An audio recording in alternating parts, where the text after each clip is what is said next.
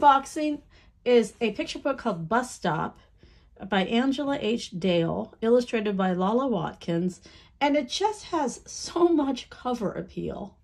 Um, we can see a whole um, cast of characters with a lot of diversity, which I really love. There's a boy in a wheelchair, um, all kinds of skin tone colors, and we can tell, even though it's so brightly colored that it feels summery, we can see snowflakes, so we know it's snow time, or it's winter.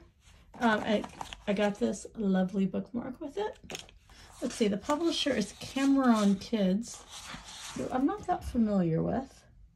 Um, so the story, it's a snowy day at the bus stop. All the neighborhood kids arrive alphabetically. Oh, cool. So it's an alphabet book. Just really kind of child, you know, inspired illustrations. This just has a very playful feel.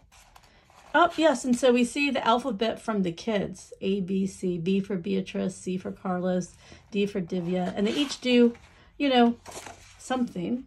But then it's not a straight alphabet picture book in terms of everything is just the alphabet. Because there is the story about every, like the kids are here in alphabetical order and they're just waiting for the bus to arrive. And while they're waiting, they're doing all kinds of things. Emmy Scouts, Fran Sketches, Griffin Skips, a lot of S's. And then here's some W's, Joelle Waltzes, Kartik Wonders. Everyone's like, where's the bus? Where's the bus? And the snow is getting deeper and deeper. Um, and it turns out it's a snow day. This looks so fun. Um, I'm going to add this to my winter book list, um, but also works great as an alphabet book.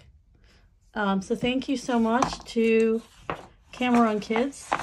And it just looks like a really fun picture book. So you got alphabet, snow, snow day, um, and just like really charming illustrations. And a bookmark.